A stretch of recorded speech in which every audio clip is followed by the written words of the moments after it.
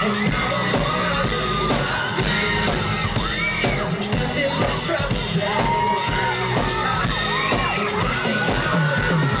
clearly, uh, you know fashion, and I don't, because I dress like a 14-year-old boy.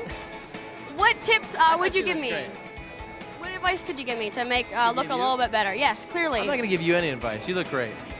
I'm in leopard, and we're at this really. I, I don't give girls advice. I'll give guy advice okay, I don't really. I don't want to give girl advice for wearing clothes. That's that feels weird. because you might get smacked. True. What are three uh, essential items a guy at home watching should have in his closet, you think? Have in your closet.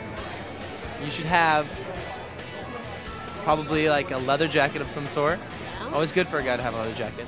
Good pair of boots, like worn in. And I would say usually a suit. I think every guy should have a suit.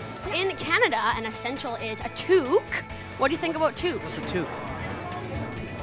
Uh oh. You know what a toque is?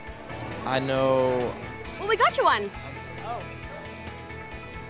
Here you go. Oh wow. It's for you to take home from your Canadian fans. Let me see. Thank you so much, Canadian fans. Oh, a toque. Yeah. I love toques. Are you gonna wear it I'm gonna rock this toque. right now? And it says Canada.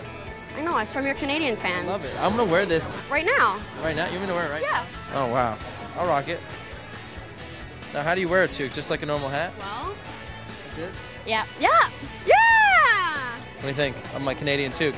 Well, just get people in the studio were like, he's not gonna want to ruin his hair, but I don't care. thank you. No, I don't care about that. I love you guys.